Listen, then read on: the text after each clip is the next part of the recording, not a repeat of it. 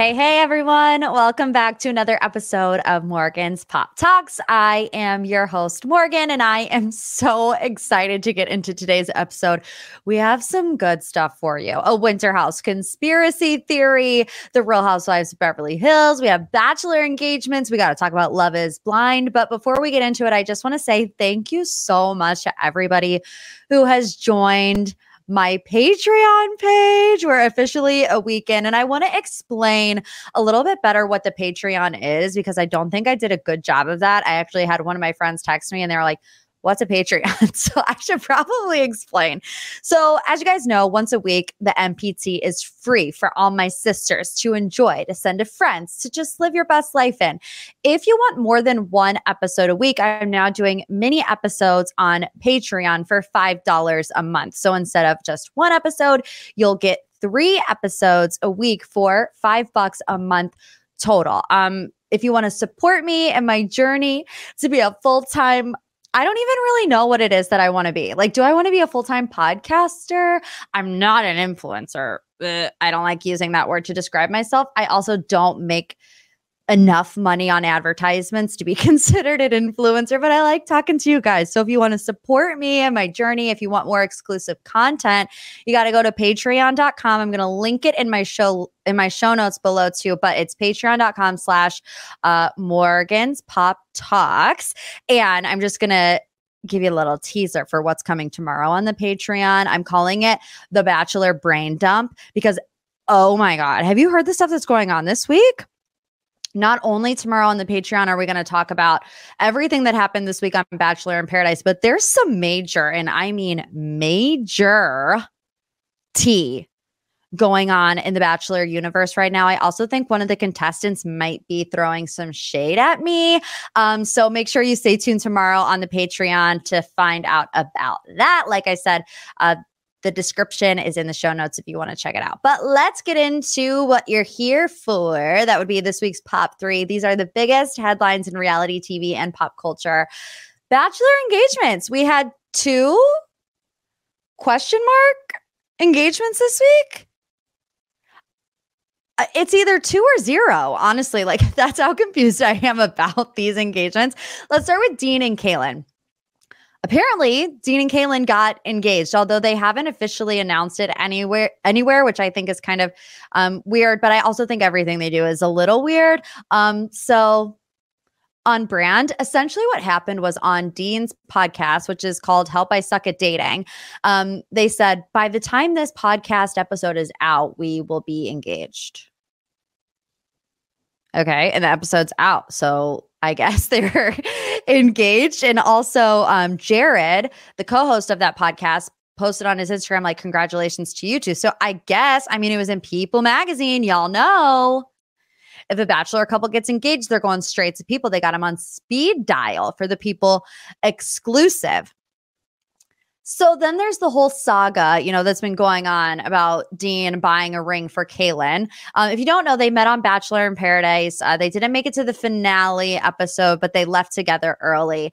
And Dean has said some things that have raised some eyebrows around proposing to Caelynn, buying her a ring. Essentially, he's like, if you want a ring, Caelynn, I want you to buy me a truck. It's a choice. Well, he revealed that he got Caelynn a ring then lost it, and then bought another ring. And then Caelynn was on her Instagram story, like, I'm at the Toyota dealership. So I'm thinking that she got him a truck. Here's the thing. He said he got a new placeholder engagement ring for Caelynn after mistakenly losing the original one, which was 4.5 carat emerald cut diamond. He said, it might be in the garage somewhere, but yeah, moral of the story is don't put your engagement rings in the junk drawer. So I did have to go out and buy a placeholder ring for now, but it's not quite as nice as the first one was. This made me so mad. Not not even because he lost the ring. The whole argument around the fact that Caelynn was supposed to buy Dean a trunk, a, a trunk, yeah, just the trunk. No, the whole argument around Caelynn having to buy Dean the truck was he was like, Caelynn makes a lot more money than me. Why should I have to shell out X amount of dollars for an expensive engagement ring? And then you buy a 4.5 carat ring, you put it in a junk drawer and you lose it. Like, really, Dean? Really? You're going to complain? I don't even know if he was complaining. You're going to make the argument that Caelynn should buy you a truck because she makes more money, and then you're going to lose a 4.5 carat ring in the junk drawer. Okay. And I get the sentiment, right? You know, they're just addressing the gender roles, what have you. My thing is, if I were Caelynn, I would not want to have to deal with that for the rest of my life. You know what I'm saying? Like, it's one thing is it one thing? I don't know. I just know that my fiance is the greatest, most loving. I mean, he goes above and beyond for me, always wants to help for me. He never expects anything in return. So I just feel like, oh, having to deal with that mentality for the rest of your life might be a little rough, but Godspeed to you. Fingers crossed that Dean and Caelynn, that this will live happily ever after in their new truck and hopefully one day they find the engagement ring that was in the garage in the junk drawer. Becca and Thomas, Becca and Thomas also got engaged again. So last time Becca proposed to Thomas, this time Thomas proposed to Becca.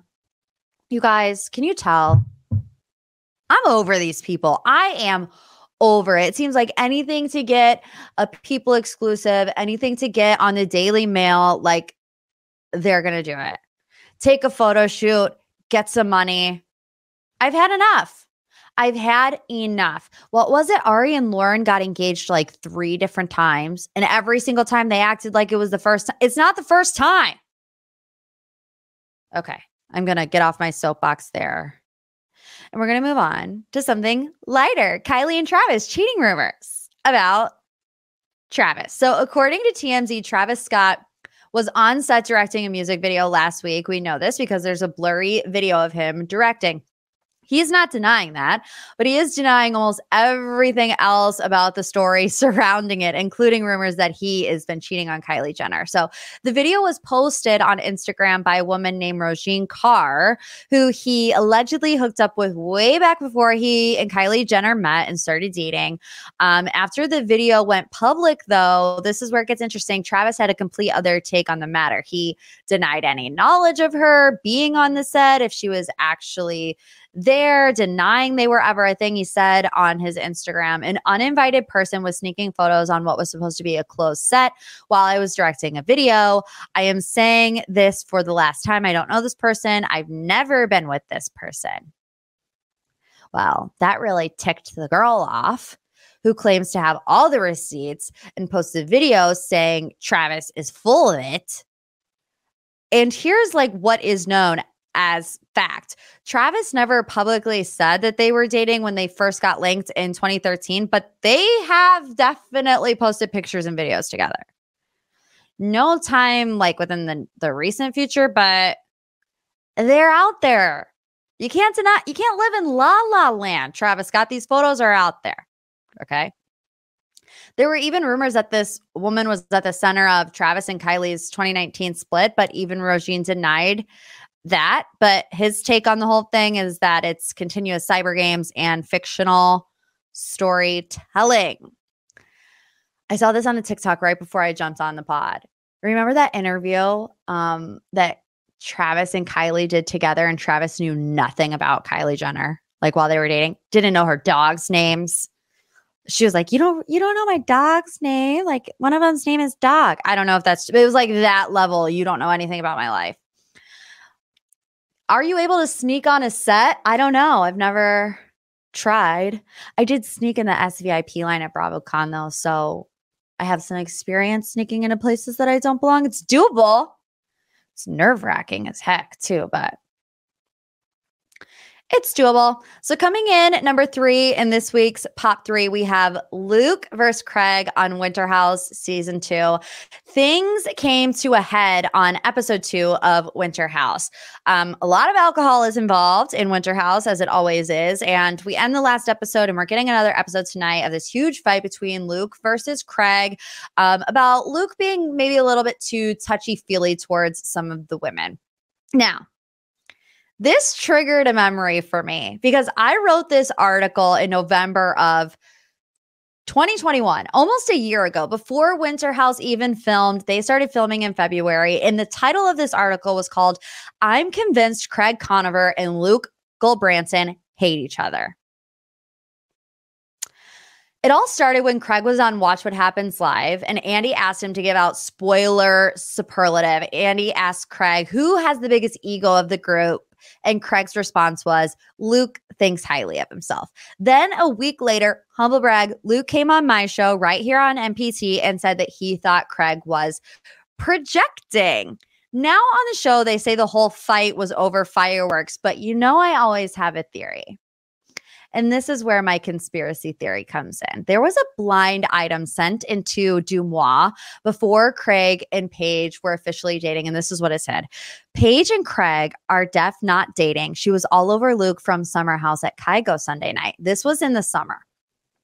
I even asked Luke about that blind item DM, and what he said was he didn't confirm or deny. He was like, if Paige wants to hang all over me, she's more than welcome to do so. Something along those lines. This was never confirmed by anyone. And while I don't think that Luke and Paige ever hooked up, I do find it very suspicious that Craig and Luke are now fighting about Luke being too touchy. Six months after that blind item came out about Luke possibly being a little too touchy with Paige at Palm Tree Festival. And what set Craig off instantly? As soon as Luke touched Paige's head, was it her head? Was it her leg? I can't remember. Instantly, Craig was like, get out of the house, and Luke left. I'm just saying. You know, I love a conspiracy theory. Okay, let's move on to this week's deep dive. As you know, for the people, by the people, every single week on my Instagram page at Morgan P Talks, I open up the floodgates. What is it that you want to know more about? And of course, are we not exhausted by Lisa Rinna? Oh my gosh. But I got to give the people what they want. This week's deep dive question comes to us from Charlie. Hey Morgan, this is Charlie from McAlester, Oklahoma. We need a deep dive on all things Lisa Rinna, the fake Twitter accounts, the post she was sharing. Do you think she's going to be put on pause? I know this has to have pushed Kyle over the edge, wanting to know what's going to happen with everything she's been up to. I love your pod. I listen to it every single week. Love you like a sis. Thank you, Charlie. Love you like a sis. We'll just get into it all all of it, every last bit. This weekend was a wild one from Lisa Rinna. Who would have thought that the woman that was completely edited out of the first half of the season of The Real Housewives of Beverly Hills would be the talk of the town? I mean, have we talked about anything except for Lisa Rinna for the past like month? It started this weekend. She got major backlash after posting about Paris Hilton's abuse, all in an effort to get back at Kathy Hilton for Kathy Hilton calling her a bully, which we saw on the final part of the Beverly Hills reunion. So we're going to get down a real wormhole here. So just buckle yourself on up um, because it started when Lisa Rinna reposted this tweet from Woke Baddie remember the name. I mean, how could you forget a name like that? But remember the name. It was a meme and it said, Kathy to Lisa, you're the biggest bully in Hollywood. And then it said, me to Kathy. You're the mother that had her daughter kidnapped in the middle of the night, which led her to being abused, raped, and you never apologized to her when she confronted you about it. Hashtag RHOB. Lisa Rinna reposted that. I said on my Instagram story that's disgusting on Lisa's part to repost that. And I had some people in my DMs be like, well, it's true. A, it's only Paris's story to tell, first and foremost. B, I mean, I followed the story pretty closely. I watched the documentary. I could have missed something, but I don't ever remember her giving, you know, those explicit details about what happened. I mean, I know that she was abused. I know she was taken in the middle of the night, but still probably should not speculate on those kinds of things. And Lisa Rinna was the one who said no kids. She threatened Garcelle with legal action about Garcelle's book, in which Garcelle was literally referencing something that was said on the show that the world had all already seen. No new information. And Lisa like called her lawyers and made Garcelle change the book. But Lisa Rinna, you're okay to say that about Paris? My thing is, Lisa, like, I know she's not listening to me, but I wrote it as if she was. You don't know, Lisa, what kind of convos Paris and Kathy had behind closed doors. You don't know if Kathy apologized for whatever. Maybe not on the documentary, but, you know, their whole entire life wasn't on the documentary. And it's none of Lisa Rinna's business, point blank period. And, you know, Paris was liking all kinds of tweets in her mother's defense. She was tweeting things. Um, a video that Kathy did at BravoCon, she quote tweeted and was like, I love you, mom. So, I mean, Paris has spoken openly about the abuse that she endured uh, while she was at Provo Canyon Academy. You know, in the documentary, it's called This is Paris. If you want to watch it, it's really good. It focused entirely on her experience, but it's like, Lisa Rinna, we just got done watching part two, where the majority of the time, all that was talked about was this is just a TV show. Leave our kids and our family alone. It was in reference to Garcelle's son, Jax, in being harassed online. But what difference is it in Lisa Rinna going after Paris? Lisa, this is just a TV show. Leave the kids and their abuse out of it. It is none of your business. I just think it's like the lowest of the low. And I always was giving Lisa the benefit of the doubt throughout the entire season because I have empathy for people. I always try to look at like what is this person going through to make them act in such a way. And you know, losing Lois was probably devastating for Lisa and there were moments in the season where I'm like, "Oh, Lisa is she is a part of the fabric of Beverly Hills. I had moments where I thought that. And then you have moments like this and you're just like, ugh. It's disgusting. I think it's disgusting. So remember woke baddie? Told you not to forget the name. Hope you didn't. Who could? People started to think that woke baddie, the person that wrote that DM, was actually Lisa Rinna herself. So the story is allegedly Lisa Rinna made this fake account to you know, constantly come to her and Erika's defense. There are some interesting things when you look at this account, like Erica follows the account. Um, it's not big by any means. So the fact that Erika Jayne like saw it and follows it is kind of bizarre. Um, there were some Instagram accounts saying they looked up like the location of where it was coming from, that the coordinates matched Lisa Rinna's house. Look, I don't know if all that's true. It seems like a little bit of a stretch for me. And you know, I love a conspiracy theory. That's like next level conspiracy theory. I don't know if I'm there all the way. And also, that Instagram page talks about other shows. I think like Married to Medicine and The Real Housewives of Atlanta. So it's like, do you think that Lisa Rinna is sitting around binge watching every Bravo show? I just don't think so. Um, also, this week, there were some headlines saying that Lisa Rinna's publicist dropped her. According to Teddi, it was actually Lisa that severed the relationship with her publicist. And according to Teddi, this is what Lisa told her. She said, quote, Jill and I parted ways. I didn't want to be represented by someone who represents Paris Hilton, Bethenny Frankel, and Denise Richards any longer. Really? Who cares? I mean, really, who cares? It's got nothing to do with you, Lisa. So I also don't buy that. Like, they've been they've been representing Denise Richards. They've been representing Bethenny Frankel. And now all of a sudden, what does Lisa have to do with Bethenny Frankel? Oh my God, this stuff never stops. So there were some other things that come out about, you know, Lisa Rinna's alleged online activity. One being a photo allegedly from Lisa's Instagram story of Lisa like creepily smiling, holding a gun and threatening marketing manager, that's in air quotes because I don't even know who this dude is, Patrick Sommers. The photo is captioned When I find me Patrick. Patrick and Lisa had drama earlier this year when he claimed he and Rinna were behind orchestrating an attack on Kathy Hilton. Lisa's new publicist? Question mark. I have no idea. It's just when I looked up on Radar Online. I'm sorry. Anytime I see Radar Online, I cannot say it in any other voice but my Lisa Vanderpump voice. So hopefully I did a good job.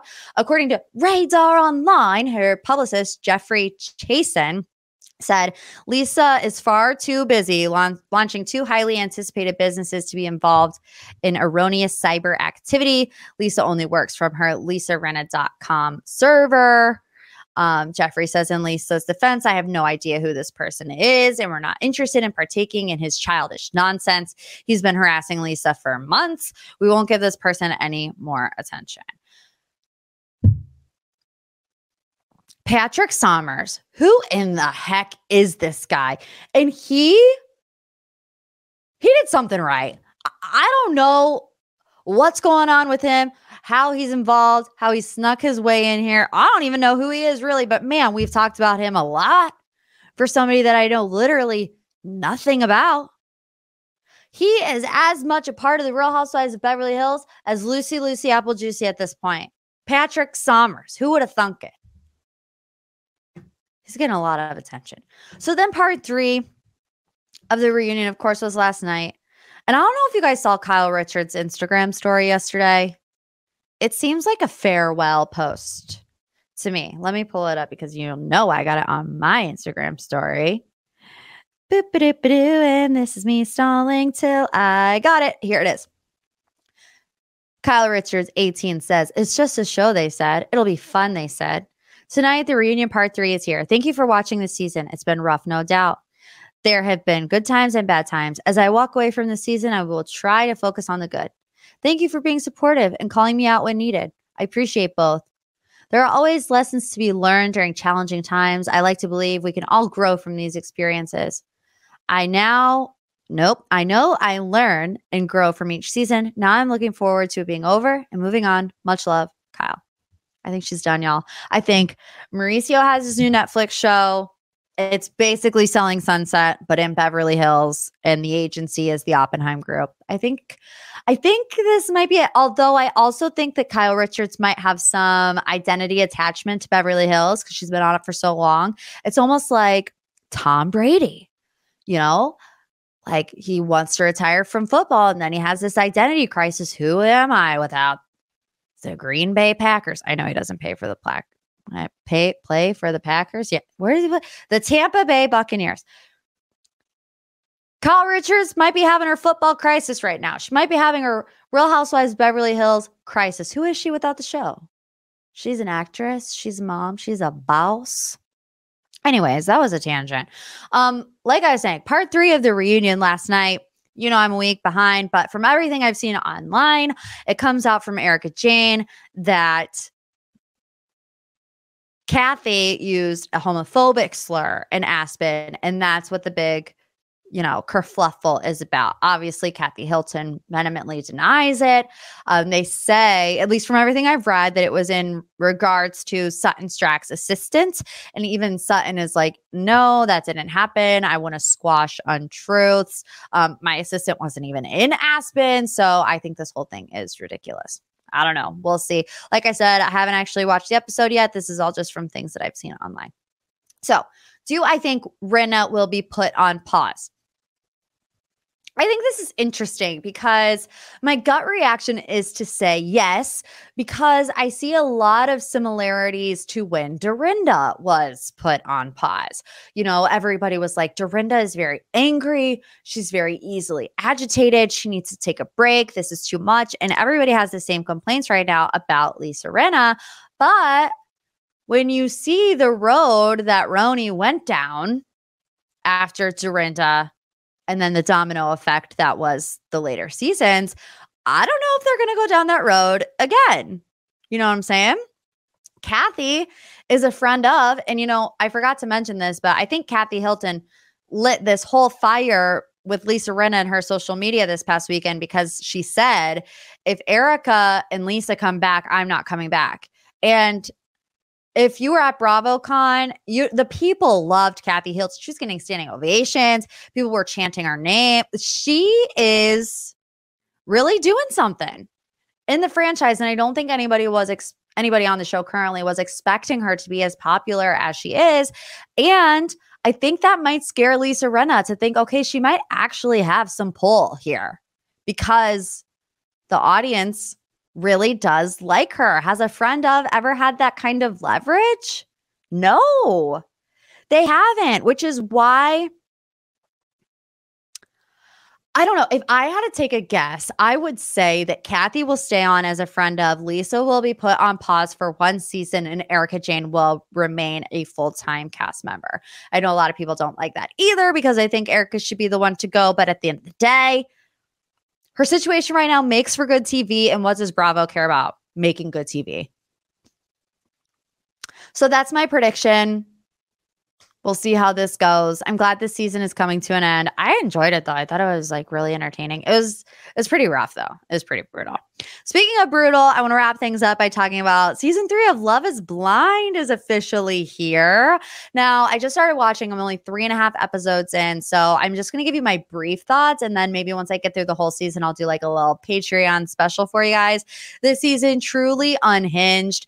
The editing though has gotten a lot better, in my opinion, because I think the episodes flow better. They move faster. One of my major complaints last season was like, ugh, I had to fast forward through so many parts because I just didn't care. But, you know, we're already, even like two episodes in, we already knew everybody who was engaged. They were getting ready to go to their little retreat, whatever.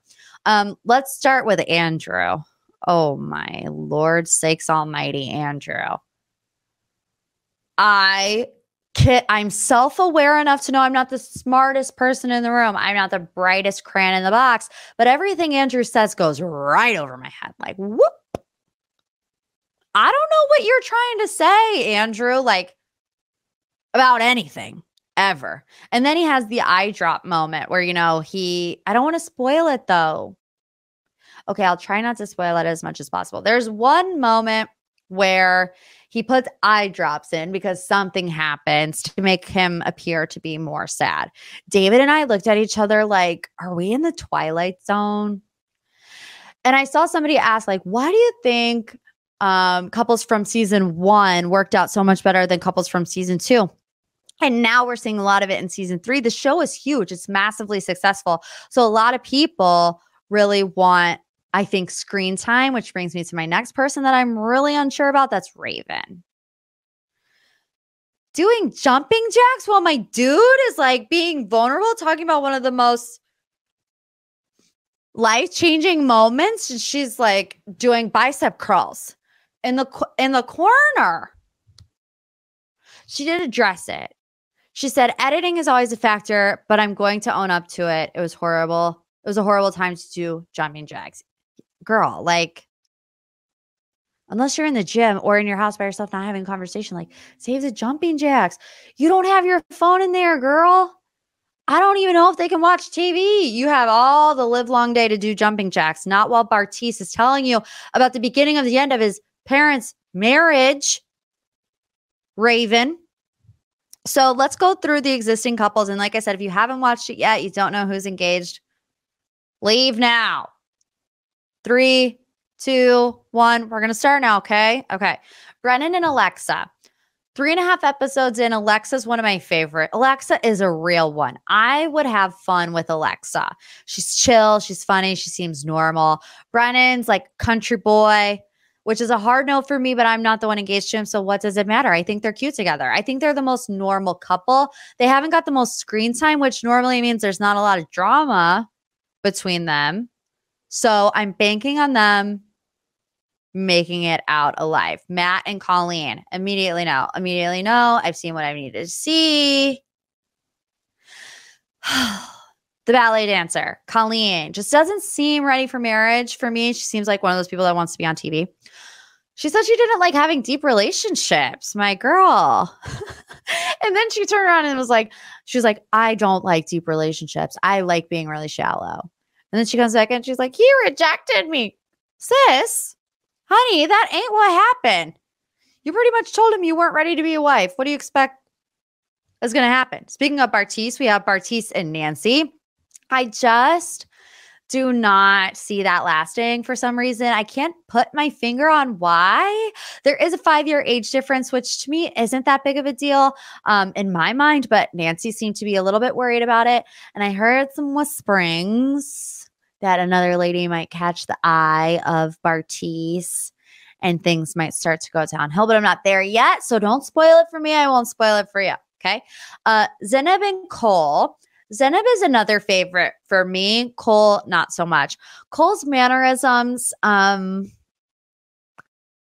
I'm trying to think of a nice way to put it because there's no really nice way to say that. It, it comes off extremely immature to me. Like, I don't know why, and this might not make any sense, but I don't see Cole as like a real person. I see him as a cartoon character. You know? Like, he kind of reminds me a little bit of the Tasmanian devil, a little bit, like just zipping around everything's really fast and frantic. I don't know. I also don't have high hopes for these two. They just don't seem very compatible. And then we have SK and Raven. I think the worst pairing of the whole entire situation. Raven is going to eat SK alive. And I said it before, I'll say it again. This might sound really mean, but I think Raven wants the screen time.